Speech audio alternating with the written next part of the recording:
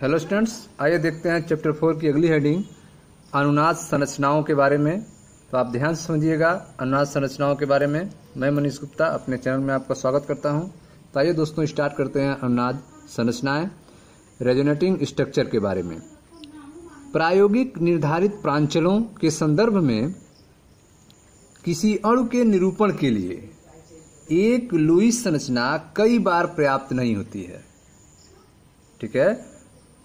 किसी भी अणु के निरूपण के लिए जो आप लुईस संरचना बनाते हैं, उसका एक स्ट्रक्चर जो है कि, ठीक है, प्रायोगिक निर्धारण प्रांचलों के संदर्भ में कई बार पर्याप्त नहीं होता है। प्रयोग के द्वारा स्ट्रक्चर के बारे में जो रिज़ल्ट आया है, उस रिज़ल्ट को लुईस संरचना के द्वारा रिप्रेजेंट करना एक स्ट्रक्चर से संभव नहीं हो पाता है। कई बार ऐसा देखा गया है। ठीक है? प्रायोगिक निर्धारित प्रांचलों के संदर्भ में किसी अणु के निरूपण के लिए एक लुईस संरचना कई बार पर्याप्त नहीं होती है। जैसे, ओजोन अणु को,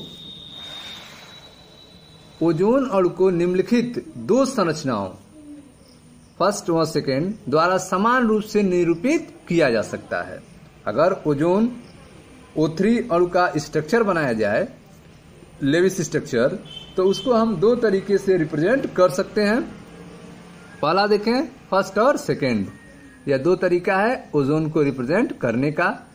पहले में आप देखें ऑक्सीजन ऑक्सीजन के बीच में सिंगल बंद है और इस ऑक्सीजन और इस ऑक्सीजन के बीच में डबल बंद है। ठीक है? बंध दूरी देखा जाए तो जब सिंगल बंद है तो बंध दूरी 148 पिकोमीटर है। डबल बंद है तो बंध दूरी 121 पिकर पिकोमीटर है। ठीक है? तो यह एक फ़र्स्ट स्ट्रक्चर हो गया। सेकेंड स्ट्रक्चर में ऐसा हो सकता है कि यह दो बंद यहाँ हो सकता है और एक बंद यहाँ हो सकता है। तो यह आपका फिगर है, जिसमें आप देख रहे हैं दो बंद जो है अभी इस ऑक्सीजन के बीच में हो गया है और एक बंद जो है इस ऑक्सीजन के बीच में हो गया है। ठीक है? तो ओजोन अणु की संरचना को हम इस दो रूप में व्यक्त कर सकते हैं। दोनों ही संरचनाओं में एक ऑक्सीजन ऑक्सीजन के बीच में सिंगल बंद दिखाया गया है तथा एक ऑक्सीजन ऑक्सीजन के बीच में डबल बंद को दिखाया गया है। ठीक है? दूरी की अगर बात की जाए तो ऑक्सीजन ऑक्सीजन सिंगल बंद जब है और ऑक्सीजन ऑक्सीजन जब डबल बंद है तो इनकी लंबाइयाँ क्रमशः 148 पिकोमीटर और 121 पिकोमीटर हैं। ठीक है? लेकिन हमें प्रयोग द्वारा क्या रिज़ल्ट मिलता है? प्रयोग के द्वारा यह देखा गया है कि ओजोन अणु में दोनों ऑक्सीजन ऑक्सीजन आबंधों की लंबाई एक समान होती है। यह ऑक्सीजन ऑक्सीजन जो दोनों तरफ़ बंद बन रहा है, इधर भी और इधर भी, इन दोनों तरफ़ बंद की लंबाई क्या होती है? समान होती है। 128 पिकोमीटर होती है। ठीक है? ऑक्सीजन ऑक्सीजन, एकल तथा दुई आबंद सामान्य आबंद लंबाइयाँ 148 और 121 पिकोमीटर है। लेकिन प्रयोगों द्वारा ज्ञात होता है कि ओजोन अणु में दोनों ऑक्सीजन सिंगल बंद ऑक्सीजन आबंधों की लंबाइयाँ एक समान 128 पिकोमीटर होती है। ठीक है? अतः ओजोन के अणु में ऑक्सीजन ऑक्सीजन आबंध, एकल तथा दुई आबंधों का मध्यवर्ती होता है। ऑक्सीजन ऑक्सीजन के बीच में जो बंद होता है, वह न तो सिंगल बंद होता है, न तो डबल बंद होता है, दोनों का मध्यवर्ती होता है। अतः लुईस संरचना फ़र्स्ट और सेकेंड में से कोई भी एक संरचना ओजोन अणु को निरूपित नहीं कर सकता है। ठीक है? उपयुक्त लुईस संरचनाओं के द्वारा, फ़र्स्ट और सेकेंड के द्वारा, एक संरचना ओजोन अणु को निरूपित नहीं कर सकता है। ठीक है? ओजोन जैसे अणुओं की वास्तविक संरचना को स्पष्ट करने के लिए अनुराध संकल्पना प्रस्तावित किया गया है। ठीक है? जब किसी अणु के स्ट्रक्चर को, ठीक है? एक स्ट्रक्चर के द्वारा न रिप्रेजेंट किया जा सके, एक से अधिक स्ट्रक्चर की ज़रूरत पड़े तो ऐसे ऐसे अणुओं को रिप्रेजेंट करने के लिए अनुनाद संकल्पना का यूज़ किया जाता है रेजोनेटिंग कंसेप्ट का प्रयोग किया जाता है। ठीक है स्टूडेंट्स अब आप देख रहे हैं कि यह जो दूरी है, वह 128 पिकोमीटर दोनों तरफ़ है। ठीक है? यहाँ पे रंग छप गया है 148 है, लेकिन यहाँ पे 128 होना चाहिए। ठीक है 128 होना चाहिए। दोनों तरफ़ का बाउंड लेंथ बराबर होनी चाहिए। 128 पिकोमीटर इधर भी और 128 पिकोमीटर इधर भी। जो न तो सिंगल बंद का बाउंड लेंथ है और न तो डबल बंद का बाउंड लेंथ है। दोनों के बीच का है। ठीक है, आप पढ़ रहे हैं अनुनाद संरचनाओं के बारे में रेजोनेटिंग स्ट्रक्चर के बारे में। ठीक है आपको बताया गया कि प्रायोगिक निर्धारित प्रांचलों के संदर्भ में किसी अणु के निरूपण के लिए प्रयोगों के द्वारा जो हमें रिज़ल्ट प्राप्त हुआ है, उस तरह का रिज़ल्ट जो है, हम जो है एक लुइस स्ट्रक्चर के द्वारा प्राप्त कर लें यह किसी एक स्ट्रक्चर के द्वारा संभव नहीं है। इसके लिए हमें उस अणु की एक से अधिक स्ट्रक्चर बनाने की ज़रूरत पड़ती है।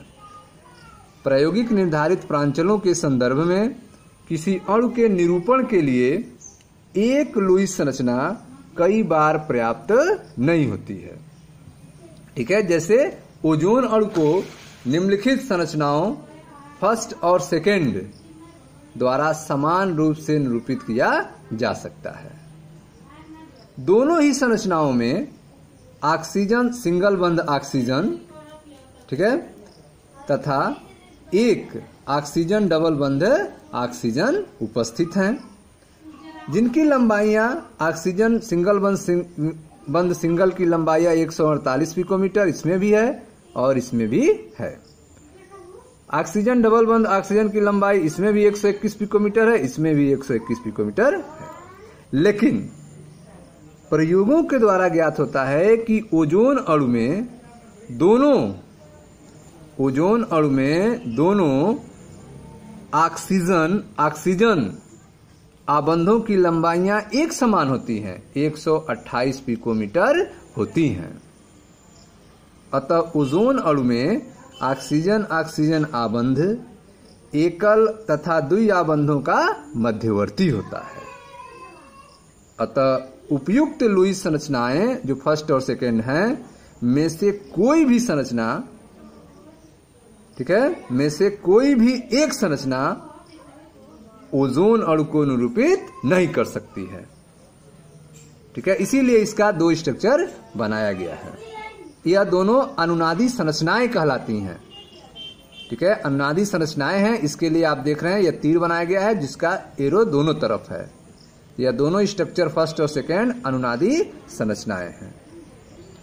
ओजोन जैसे अणु की वास्तविक संरचना को स्पष्ट करने के लिए अनुनाद संकल्पना को प्रस्तावित किया गया है। ठीक है? ऐसी संरचनाओं को समझाने के लिए रेजोनेटिंग कंसेप्ट का यूज़ किया गया है।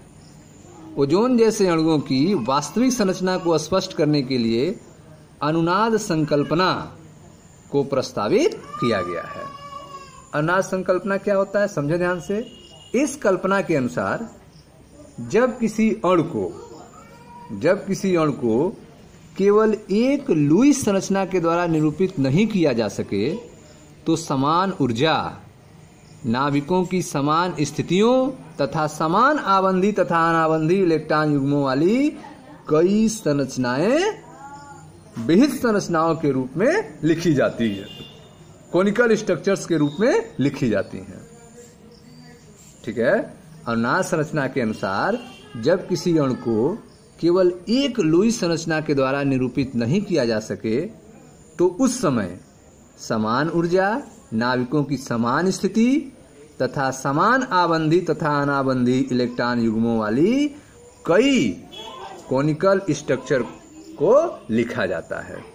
जैसे आप देख रहे हैं ओजोन का दो स्ट्रक्चर लिखा गया फ़र्स्ट और सेकेंड ठीक है? क्योंकि उसके केवल एक स्ट्रक्चर के द्वारा सही तरीके से रिप्रेजेंट नहीं किया जा सकता था।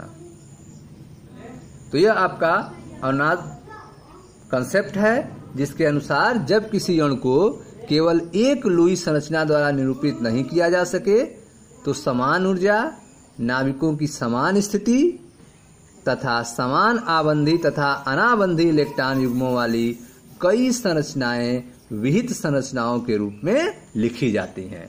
कोनिकल स्ट्रक्चर के रूप में लिखी जाती हैं। इन विहित संरचनाओं का अनुनाद संकर या जो कैनोनिकल स्ट्रक्चर बनाए गए हैं इनको मिलाकर जो एक अनुनाद संकर बनता है रेजोनेंस हाइब्रिड बनता है, वही अणु की वास्तविक स्थिति को निरूपित करता है, जिसको हम नहीं बना सकते हैं वो। ठीक है? इन कैनोनिकल अर्थात विहित संरचनाओं का अनुनाद संकर अणु की वास्तविक स्थिति को निरूपित करता है।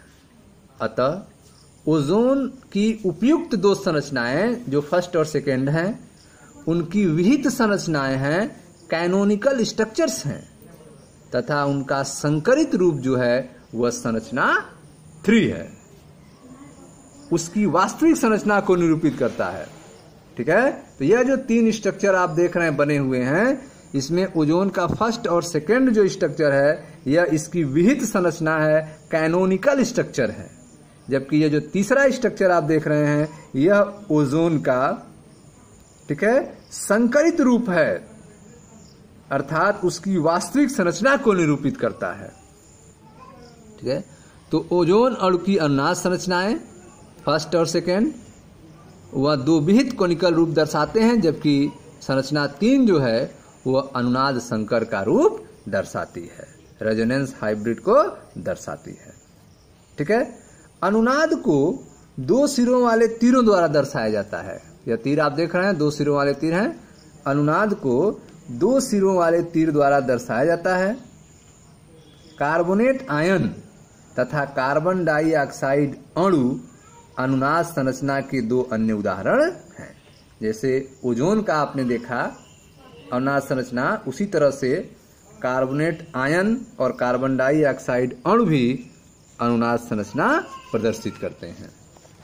देख सकते हैं आप। कार्बोनेट आयन को अगर देखा जाए पहले, पहला उदाहरण CO3 थ्री दो माइनस कार्बोनेट आयन की संरचना की व्याख्या अनुनाद द्वारा कीजिए। ठीक है? तो कार्बोनेट आयन में आप जो है, कार्बन तथा ऑक्सीजन परमाणुओं के मध्य दो एकल आबंध दो सिंगल बांड और एक दुई आबंध वाली लुई संरचना, कार्बोनेट आयन की वास्तविक संरचना को निरूपित करने के लिए अपर्याप्त। फिगर आप देखें, यह कार्बोनेट आयन का स्ट्रक्चर है, जिसमें कार्बन और ऑक्सीजन के बीच में सिंगल बंद को दिखाया गया है। दो एकल बंद हैं, यहाँ पे और यहाँ पे, और एक कार्बन और ऑक्सीजन के बीच में डबल बंद है। ठीक है? कार्बन तथा ऑक्सीजन परमाणुओं के मध्य दो एकल आबंध हैं, ठीक है? तथा एक दुई आबंध है। यह जो लुई संरचना है यह कार्बोनेट आयन के वास्तविक संरचना को निरूपित करने के लिए अपर्याप्त है, क्योंकि इसके अनुसार तीन कार्बन ऑक्सीजन आबंधों की लंबाई भिन्न होनी चाहिए। इस फिगर के अनुसार कार्बन और ऑक्सीजन की लंबाइयाँ क्या होनी चाहिए? अलग अलग होनी चाहिए। परंतु प्रायोगिक परिणाम के अनुसार कार्बोनेट आयन के तीनों कार्बन ऑक्सीजन आबंधों की लंबाइयाँ समान होती हैं। कार्बन ऑक्सीजन के बीच में जो आबंध लंबाई है, वह तीनों बंध की लंबाई समान होती है। अतः कार्बोनेट आयन की वास्तविक संरचना को निम्नलिखित तीन विहित संरचनाओं कैनोनिकल तीनों स्ट्रक्चर के संकर रूप के रूप में दर्शाया जाता है। कार्बोनेट का वास्तविक स्ट्रक्चर क्या होता है? तो इन तीनों कैनोनिकल स्ट्रक्चर विहित रूपों को मिलाकर जो स्ट्रक्चर तैयार होगा, वही कार्बोनेट आयन का सही रूप होगा, अनुनाद संकर रूप होगा, ठीक है? जिसमें कार्बन और ऑक्सीजन की लंबाइयाँ हर बंद की बराबर होंगी। अब अगला है आपका कार्बन डाइऑक्साइड अणु की संरचना की व्याख्या कीजिए। तो कार्बन डाइऑक्साइड अणु की संरचना की व्याख्या में आप देख सकते हैं। कार्बन डाइऑक्साइड के अणु में कार्बन ऑक्सीजन आबंध की लंबाई का प्रायोगिक मान जो आता है वो 115 पिकोमीटर आता है। कार्बन और ऑक्सीजन के बीच में बांड लेंथ जो है, आबंध की लंबाई का जो एक्सपेरिमेंटल रिज़ल्ट आता है वो 115 पिकोमीटर आता है। सामान्य कार्बन ऑक्सीजन दुई आबंध तथा कार्बन ऑक्सीजन त्रि आबंध लंबाइयाँ जो होती हैं 121 पिकोमीटर तथा 110 पिकोमीटर होती हैं। कार्बन ऑक्सीजन के बीच में अगर दो बंध है तो 121 पिकोमीटर बांड लेंथ आता है। अगर कार्बन ऑक्सीजन के बीच में तीन बंध है तो 110 पिकोमीटर आता है। कार्बन डाइऑक्साइड में कार्बन ऑक्सीजन आबंध की लंबाई 115 पिकोमीटर। अर्थात कार्बन दो ही बंद, कार्बन ऑक्सीजन दो बंद तथा कार्बन तीन बंद की सामान्य लंबाइयों के बीच में होती है। ठीक है? प्रयोग के द्वारा जो कार्बन ऑक्सीजन के बीच में बंद लंबाई आ रही है, वो 115 पिकोमीटर आ रही है, जो कि दो बंद और तीन बंद के बीच की लंबाई है। इससे यह स्पष्ट होता है कि कार्बन डाइऑक्साइड अणु की वास्तविक संरचना को केवल एक लुईस संरचना के आधार पर प्रदर्शित नहीं किया जा सकता है। अतः यह आवश्यक हो जाता है कि इसके लिए एक से अधिक लुईस संरचनाएँ लिखी जाएँ तथा कार्बन डाइऑक्साइड की संरचना, इन विहित संरचनाओं, इन canonical canonical structures first second and third के संकर रूप में प्रदर्शित किया जाए। ठीक है? तो जो सही स्ट्रक्चर होगा कार्बन डाइऑक्साइड का, वह इन तीनों विहित संरचनाओं का हाइब्रिड रूप होगा, संकर रूप होगा। ठीक है? यह कार्बन डाइऑक्साइड का विहित रूप है, जिसमें आप देख रहे हैं कि दो बंद और सिंगल बंद जो है कार्बन ऑक्सीजन के बीच में पाया जाता है। अगर दो बंद होता है और तीन बंद होता है तो दो बंद की लंबाई जो है वह 121 पिकोमीटर होती है, तीन बंद की लंबाई 110 पिकोमीटर होती है, लेकिन जो वास्तविक लंबाई प्रयोग द्वारा मिलता है, वो 115 पिकोमीटर होता है, जो कि दो बंद और तीन बंद के बीच का होता है। ठीक है? तो इस तरह से आपने देखा कि कभी कभी ऐसा होता है कि प्रयोग के द्वारा जो रिज़ल्ट आता है, वह लुइस स्ट्रक्चर्स के द्वारा जो संरचनाएँ बनती हैं, वह एक दूसरे से मेल नहीं खाती हैं। ठीक है? इसके लिए जो है आपको एक से अधिक स्ट्रक्चर बनाना पड़ता है, जिनको विहित संरचनाएँ कहा जाता है कैनोनिकल स्ट्रक्चर्स कहे जाते हैं, और ओरिजिनल स्ट्रक्चर जो होता है, इन सभी स्ट्रक्चर का हाइब्रिड होता है, जिनको बनाया नहीं जा सकता है। ठीक है? अब देखते हैं आगे, सामान्य रूप से यह कहा जा सकता है कि, अनुनाद के बारे में सामान्य रूप से यह कहा जा सकता है कि अनुनाद जो है, अणु को अस्थायित्व प्रदान करता है। रेजोनेंस जो है, वह मालिक्यूल को स्टेबिलिटी प्रदान करता है, अस्थायित्व प्रदान करता है। क्यों? क्योंकि अनुनाद संकर की ऊर्जा जो है, किसी भी विहित संरचनाओं की ऊर्जा से कम होती है। ठीक है? जो हाइब्रिड स्ट्रक्चर होता है, वह किसी भी कैनोनिकल स्ट्रक्चर की तुलना में एनर्जी उसकी कम होती है। ठीक है? अनुनाद के कारण, अनुनाद के कारण आबंधों के लक्षण जो हैं, औसत मान प्राप्त करते हैं। अनुनाद के कारण आबंधों के लक्षण जो हैं औसत मान को प्राप्त करते हैं। इस प्रकार ओजोन अणु में अनुनाद संकर रूप जो थर्ड था, उसकी ऊर्जा कैनोनिकल रूप फ़र्स्ट और सेकेंड की ऊर्जा के मान से भी कम होता है। ठीक है? तो सामान्य रूप से आप कह सकते हैं कि अनुनाद जो है वह अणु को अस्थायित्व प्रदान करता है, क्योंकि अनुनाद संकर की ऊर्जा किसी भी विहित संरचना की ऊर्जा से कम होती है। अनुनाद के कारण आबंधों के लक्षण जो हैं, औसत मान प्राप्त करते हैं। इस प्रकार ओजोन अणु में अनुनाद संकर रूप थर्ड की ऊर्जा, कैनोनिकल रूप फ़र्स्ट और सेकेंड की ऊर्जा के मान से भी कम होती है। ठीक है? अनुनाद संकल्पना से, अनुनाद संकल्पना से संबंधित कई भ्रांतियाँ भी हैं, जिनका निवारण आवश्यक है। आपको स्मरण रहे, आपको याद रहे कि वास्तव में विहित संरचनाओं का कोई अस्तित्व नहीं होता है। जो आप कैनोनिकल स्ट्रक्चर्स बना रहे हैं, जैसे ओजोन का आपने दो बनाया कार्बन डाइऑक्साइड का आपने तीन बनाया कार्बोनेट आयन का तीन स्ट्रक्चर बनाया, इसका कोई अस्तित्व नहीं होता है। कैनोनिकल स्ट्रक्चर्स का कोई अस्तित्व नहीं होता है। ऐसा नहीं होता है कि अणु कुछ समय के लिए किसी भी संरचना के रूप में उपस्थित रहता है। ठीक है? ऐसा नहीं होता है कि अणु जो है, कुछ समय के लिए किसी कैनोनिकल स्ट्रक्चर के रूप में उपस्थित रहता है, जबकि अन्य समय किसी दूसरी भी संरचना को अपनाता है। यह संभव नहीं है।